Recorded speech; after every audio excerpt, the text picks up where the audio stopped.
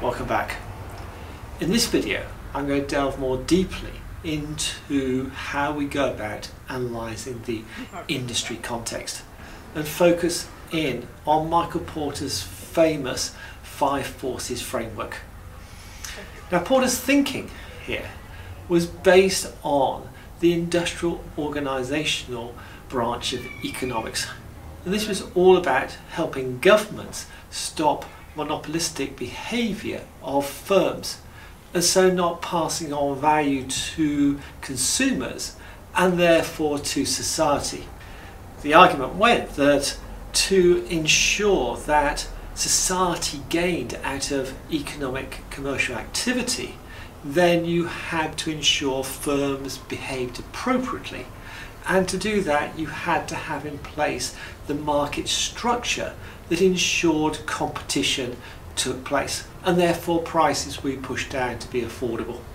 Now Porter, dissatisfied with the effectiveness of the SWOT analysis, saw an opportunity that if he turned around that thinking, then firms could discover areas where there was less intense competition and therefore could increase the profitability of their activities.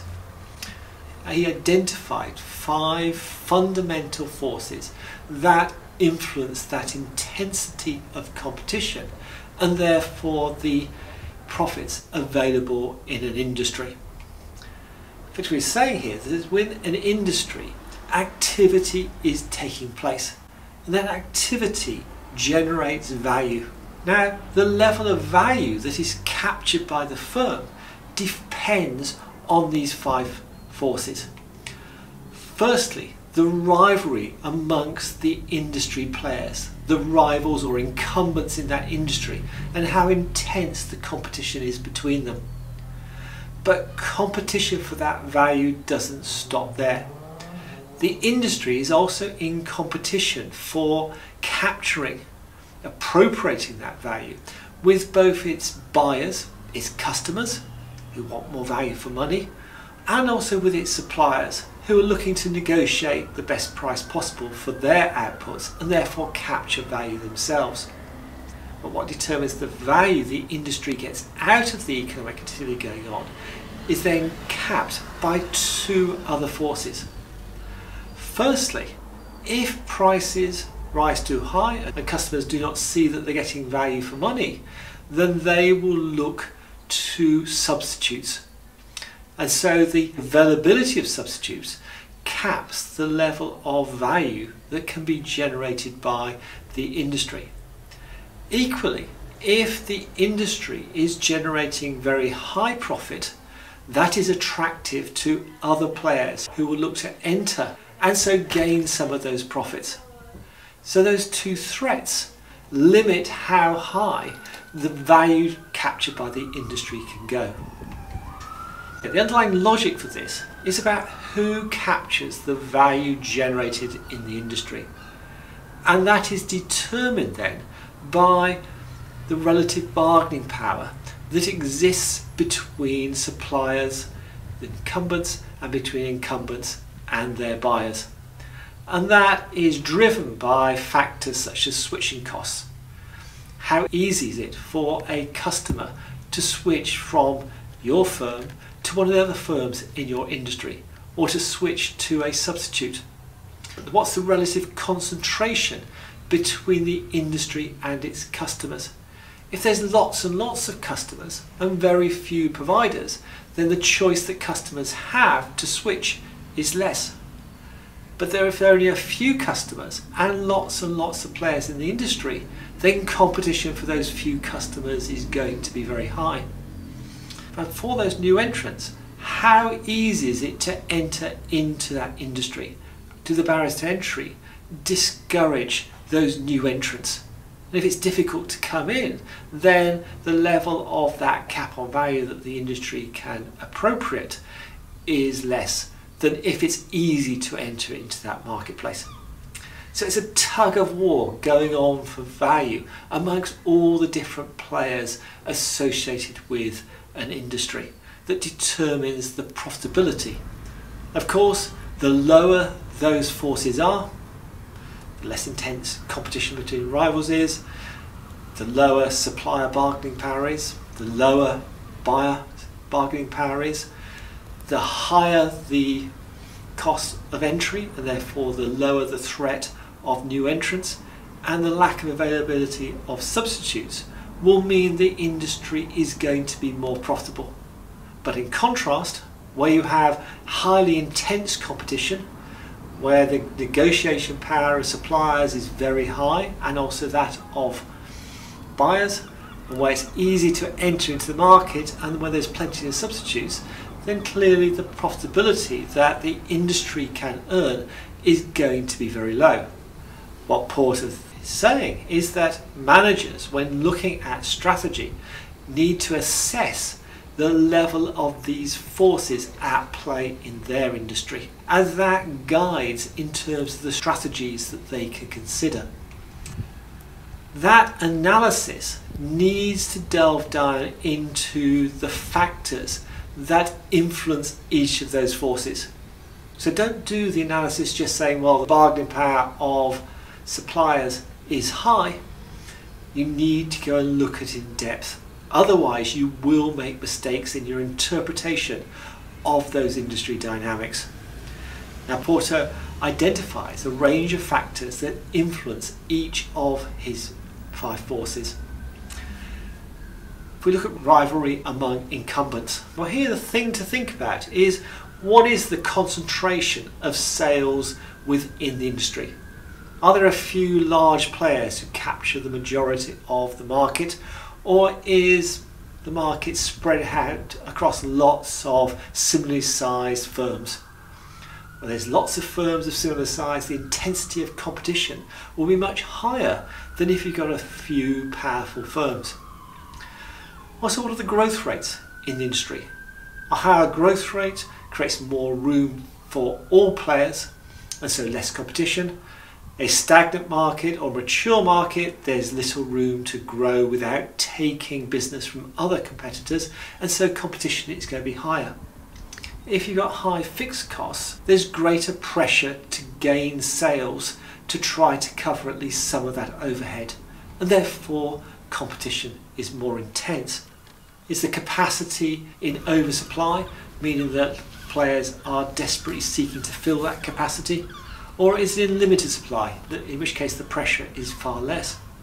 Are the products and services perishable? So you need to sell them by a set date, whether it's you're selling fruit at the market stall. As the product gets closer to the sell by date, you're more desperate to sell it. And you see this within airline companies selling seats before the plane takes off. How much differentiation is there between the products and services produced by each player?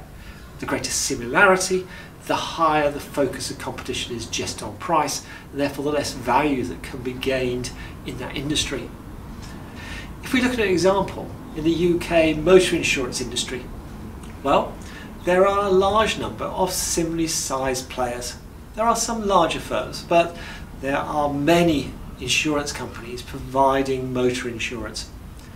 It's a mature industry so growth rates are much in line with GDP growth. And there are high fixed costs in all the IT systems, call centres, etc. that are required to operate. There are fluctuating periods of overcapacity where insurers are pushing to get more volume in through the door. And there's limited differentiation between different sorts of motor insurance policies. All that means that this force the rivalry amongst incumbent firms is very high. In terms of bargaining power of buyers, here you're thinking about the relative bargaining power between incumbents, rivals in the industry, and those buyers. And what are the switching costs of those buyers? Is it easy for them to switch from one incumbent to another? Easy it is to switch, the more they can shop around, look for a lower price. And that brings down the price levels across the industry. Is there a threat of backward integration? Can the buyer actually set up its own firm in the industry? So become a new entrant into the industry. If that's an option, then that puts a cap on what the industry can charge. Go beyond that cap, it becomes financially attractive for the buyer to do it itself. what's the dependency, the importance, and the sensitivity of that purchase to the buyer? If it's highly important or highly time critical, take for example a dentist, if you've got toothache, then you are desperate to get the service from the dentist and you're not in a good position to bargain for a lower price. What's the relative concentration between incumbents and buyers? If there are more buyers than there are incumbents, then the bargaining power of buyers is reduced. Turning again to the UK motor insurance industry, well here we see there are low switching costs. You go onto a price comparison website or shop around in terms of direct websites or go to a broker who moves you around the best deal going. The relationship is very transactional. It's largely based on the price offered when you first join an insurance company or at renewal. But it is a legal requirement in the UK that you have motor insurance if you wish to drive a car. And there are many drivers compared to the number of insurers. So whilst there are some positives here, overall you can assess this force as being high. Turning to suppliers, and this is a mirror image of the factors at play with buyers.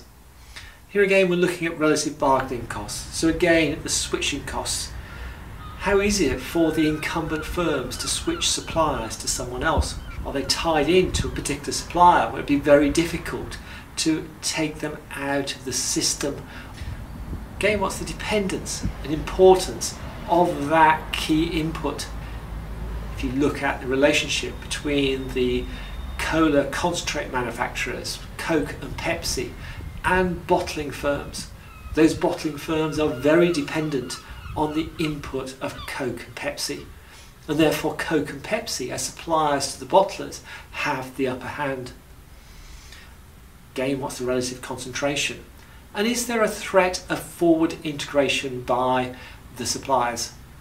So if you're negotiating too low a price and the supplier is not gaining value from it, that maybe there'll be a new entry into the industry. Here for the UK motor insurance industry, well there are few switching costs. The suppliers are repairers, garage repairers, bodyworks, and there are lots and lots of those firms out there. It is very easy for the insurers to switch around. Relationship is all about price and efficiency and the scale the insurance companies can bring to much smaller players amongst the body shop repairers means the upper hand is with the insurance company.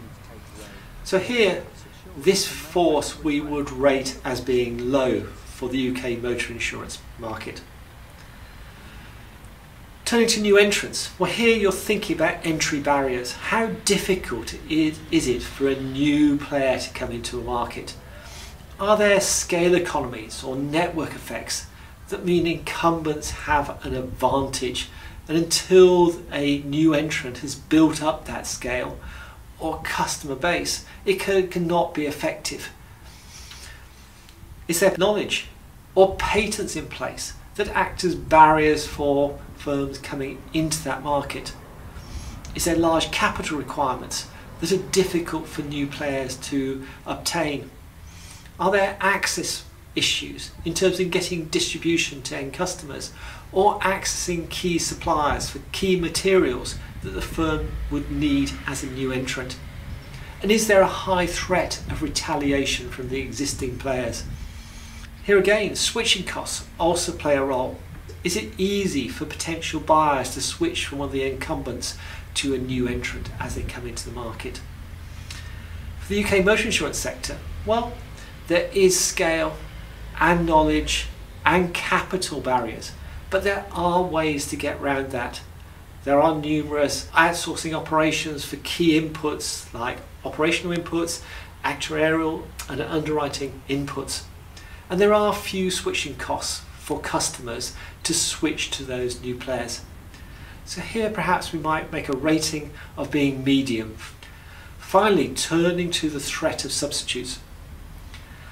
Well, here you need to think about things like the relative price and performance of those substitutes. Do they perform to the same level as what the incumbent industry already produces? Are there again switching costs between what the industry provides and that substitute product or service? Again, looking at the UK motor insurance industry, well, motor insurance is perceived to be of high price and there doesn't seem to be strong switching costs. However, there are few other options as motor insurance is a legal requirement if you want to drive a car. So here, that last factor means this force is low. Now the five forces analysis is not just about looking at each individual force. Once you've gone through all five forces and made an assessment, you need to step back and see what the whole framework is telling you. In terms of the motor insurance sector, as we've seen, the threat of substitutes and the bargaining power of suppliers were both low and potential entrants medium, whilst pressure was coming both from the level of industry intensity and also from buyers. Now traditionally, going back into the 1990s, the focus of strategies in the insurance companies was very much onto the supply chain how can we drive down costs through exploiting our scale? Whilst looking at Porter's five forces analysis, it suggests that the focus should have been onto that interface with buyers, as that is where the biggest issue was. Now there are criticisms of Michael Porter's five forces framework. Some say it is a very static system. You're looking at a snapshot in time. Rather than being a criticism, we see this as emphasizing a need to keep refreshing our view of what's happening with our industry dynamics. There are many who say there is a sixth force. Some say maybe complementers or funders if you're in the charitable sector. Although Michael Porter adamantly says that there are only five. Other possible factors always act through those five fundamental forces. There's also problems in terms of the industry definition. You have to be very careful about where you draw the boundaries. Here strategic group mapping is useful, but you need to be careful. There are some deeper criticisms as well. Firstly, Porter's thinking is underpinned by US view of economics and that competition drives performance of society that assumption can be challenged in other economic systems. And then a final criticism or limitation is the importance that the five forces places on industry performance rather than on firm performance. And there's lots who question the level to which industry matters. Here's a set of research projects looking at this very question. As we see here, industry effects only account for between 4 and 20% of firm performance. A far greater level of impact is seen coming from firm effects. So what we do inside firms to gain competitive advantage and through that we drive performance. And that is what we'll look at in the coming study units of this module. So to summarise, the five forces framework. Well, it was prompted by dissatisfaction with the SWOT approach and Porter seeking to provide a more rigorous way to understand the opportunities and threats that a firm faces. In it, he identifies the fundamental forces that drive competition and profitability. So the incumbents in an industry with the buyers and suppliers fighting for value being generated by that industry. And then the threat of new entrants and the threat of substitutes limiting the value that can be extracted by the incumbent firms in the industry. Now you do, when you're doing the analysis, need to conduct a full assessment of each force. So drop down to those factors that determine the strength of each force. And once you've understood all five forces, then step back and see what the whole model is telling you. Now, whether a industry turns out to be attractive or not is not the point here. The important thing is that you're understanding the dynamics of that industry and feeding that into your strategic decision making. But industry only explains a part of firm performance. A more significant role is played by the choices made by the firm to gain competitive advantage. And that's what we'll be looking at next. Thank you.